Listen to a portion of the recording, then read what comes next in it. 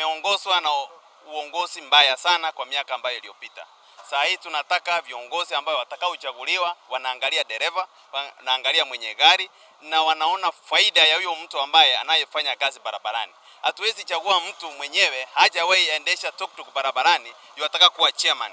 Huwezi kuwa chairman na ujui kazi tunayoifanya barabarani, mangapi tunayapitia. Lakini kwa sababu serikali imetusikiza sisi, tunataka sasa kuanzia leo watu wajue ya kwamba dereva ndiye anataka kiongozi ambaye atakayemwongoza.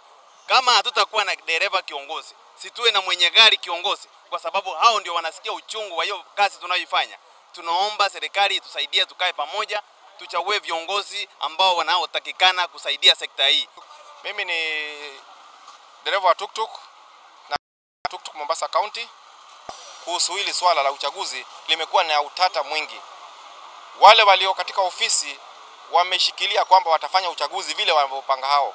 Kuna utata katika kamati ya kusimamiza uchaguzi, kuna utata katika mfumo wa uchaguzi, kuna utata ni nani atakayepiga kura, na kuna utata kura zitaanzia upande gani. Haya ni mambo ambayo yameleta utata na tumekosa kuelewana, kwa sababu wale wameshapanga kila kitu chao, na sisi tunasema uchaguzi lazima tubadilishe.